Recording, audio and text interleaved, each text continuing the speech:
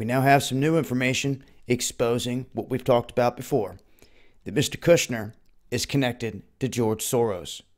Not only is he connected to George Soros, Peter Thiel, Goldman Sachs, he owes them $1 billion in loans. Could any of you get a loan for half of a million, let alone a billion? This is the writing on the wall, folks. This is who controls this man through and through.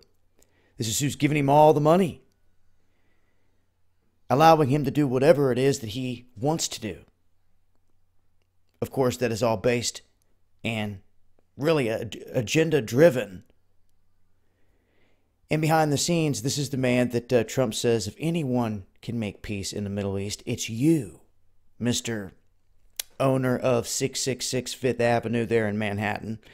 And that residence was losing money year after year after year, but it was still, for some reason, important to hold on to. And at this point, they're saying he still owes money to the Bank of America, to Blackstone Group, Citigroup, UBS, Deutsche Bank, and RBS, all of which were not disclosed. Yeah, Deutsche Bank, DB Bank, the same bank that was caught rigging the precious metals, gold, silver, platinum, everything in the market. They were caught red-handed. They got a smack on the wrist and they're still put they keep on pushing. These people do not go to jail. This is the problem. And yet you wonder how George Soros gets away with what he does, causing chaos in other countries and even here in this country, funding it, fueling it, and they will continue to do so. Why is he not in jail? Uh, I hope you're starting to see the bigger picture. All of these individuals are connected behind the scenes. You see, before people were like, oh no, this whole administration is going to come in and go against Soros. No, no, you need to wake up and see the bigger picture. This is a game. This is a play on the minds of, of the people. You can never win a race unless you have a horse in that race. And the American people didn't have a horse in the race this last election. And until you do, you will not get what you seek, which is truth, true freedom. They will continue to strip this away from you. And if you don't pay attention, you don't figure out who it is pulling the strings that brought down them towers. Well, you're not going to know who was behind the next big event. It's time you get hip to it. See the players, the ones that have been behind all the false flags, that they're all connected.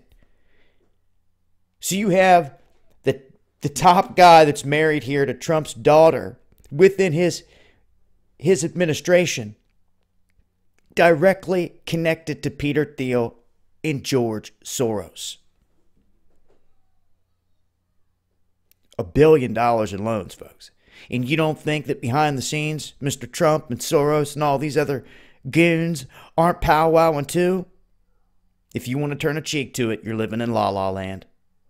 The truth is, they're all connected here behind the scenes. The money trail exposes it, and it shows who controls who in this instance. When someone is a billion dollars in debt to individuals, yeah, they're controlled. So, wanted to point out the connection here once again and the fact that he did not disclose this and everything else they're saying about this in terms of this real estate startup that he founded, Cadre, which is connected to all those individuals, as I said. And that's just one venture. Who knows how many other deals are set up behind the scenes? It's been Dahboo7, and this is Killuminati.